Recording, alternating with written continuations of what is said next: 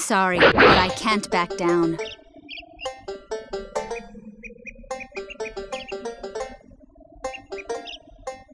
Are you ready?